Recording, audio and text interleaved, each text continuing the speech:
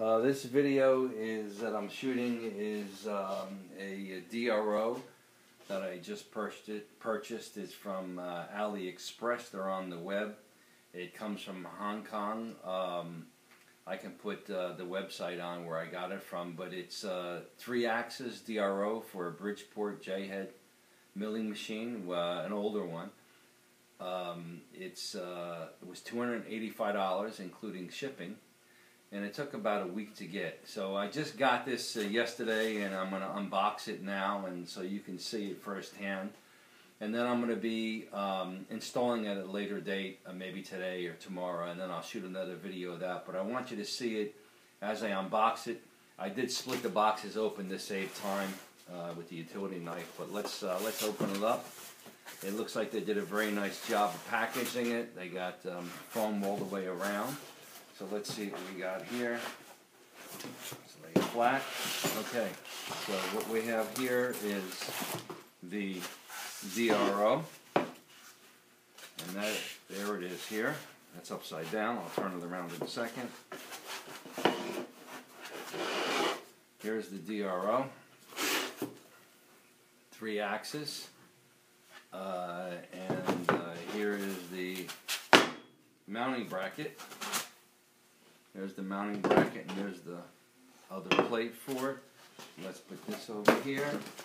Um, here's the directions for it. Digital readout directions. And what else is in the box is, uh, looks like mounting hardware and a power cord. That takes care of the DRO. So let's put this all over here and let's open up the scales. The scales I uh, purchased were when you order it, uh, you got to tell them what size scales you want. And um, for that price, $285, the scales, they'll give you up to a thousand uh, millimeters. And uh, the Bridgeport, um, that's not total into the scale. You have to add 142 millimeters on top of that. That's for the mounting of the scale. So one of the scales uh, was 48 inches, the other one was 10, and I think the other one was 20 inches. So it was all within the range for the 285 so that worked out fine.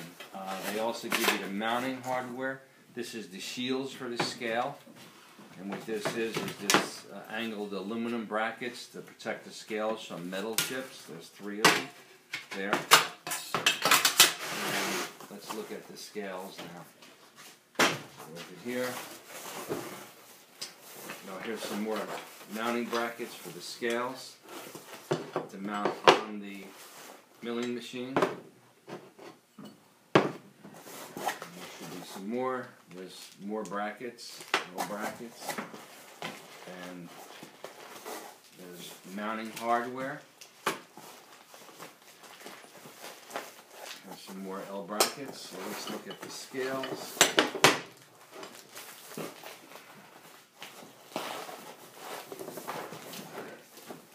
Uh, again, more hardware. The nice thing about these um, scales, as compared to other other DRO that I purchased, was the um, cables on this other DRO I purchased from my lathe. And make sure there's nothing else in the box. No, it's empty. The other DROs I purchased from my lathe um, did not have uh, armored uh, jacketed on the cables. It was just cables. So you, these are armored jackets with um, Looks like a serial port type connector, 9-pin serial port connector. The other ones just had cables, so you had to be careful in the routing of it so you wouldn't damage the uh, cables. And this one here has armored cables, uh, which is kind of nice because it's a little more rugged. Let's open this up. See what we have here. I wanted to see how it was packaged. This came from Hong Kong um, and it didn't take that long to get. Uh, somebody on one of my milling uh, groups that I uh, belong to, Yahoo Groups, it's Bridgeport Group, um, everybody had recommendations of DRO, but the prices I was seeing was uh, about 600 bucks for three axes, and I wanted three axes because it's going to be uh, the X and Y axis, and the Z axis is going to be the knee, I have a scale that mounts on the quill, so I don't need the four axis. They did they did sell a four axis, but I don't need that. sometimes that scale gets in the way, so that's why I didn't go with the four axis. Um, so let's open this up. Okay, here's the first scale, and that looks like it's the nine inch scale for the uh, y-axis. And there's the uh, knee axis scale. I think that's a 20 inch axis.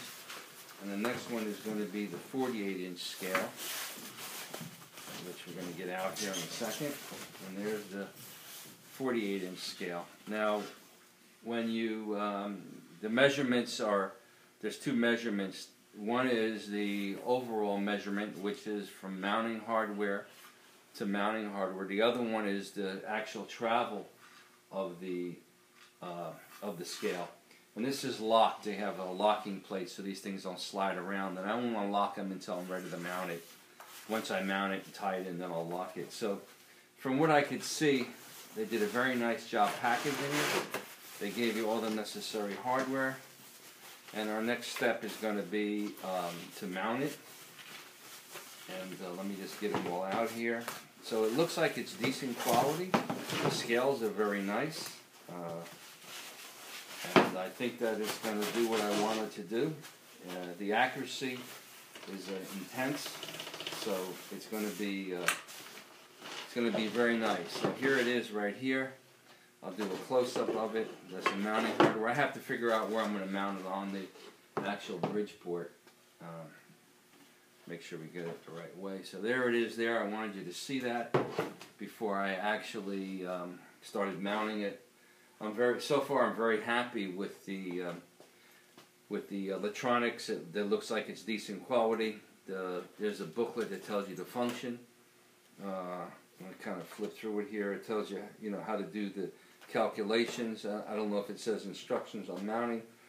But if you're a machinist and uh, run a Bridgeport, you pretty much know how you have to mount it. That's not uh, rocket science. So that uh, kind of finalizes it. Uh, the next step will be um, mounting the scales, mounting the display, and showing its operation. So at this point in time, it, it looks good. I have to reply back. They sent me an email.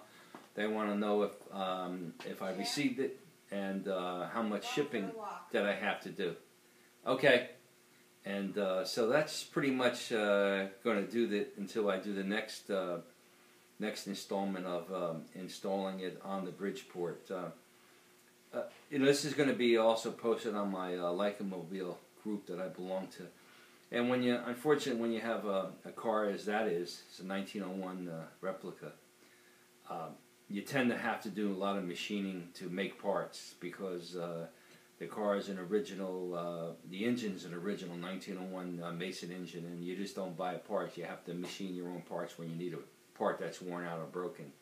So, and I wanted the accuracy and that's why I bought the DRO. I've been running the milling machine for God, got to be 15 years without the DRO, just using the the uh, scale on the um, X and Y axis, the dials. But I'm tired of doing that. I want to get more accuracy, and you know, as you get more experience in machining over the years, you always strive for more accuracy and repeatability. And I've been cutting, uh, doing a lot of gear cutting, and I find that I really need the accuracy for gear cutting. Uh, you know, before it was okay with the with the accuracy that I was getting. Uh, there's always backlash in the lead screws, and you have to compensate for that. And it, and it worked out fine, but now, um, like anything else, uh, as time evolves by, you want to get more accurate. So both of my lathe and my uh, milling machine have uh, DROs on it, and I find that it's a lot easier to machine with it as far as repeatability goes. So that should do it for now. And uh, the next uh, video will be it being installed on the Bridgeport.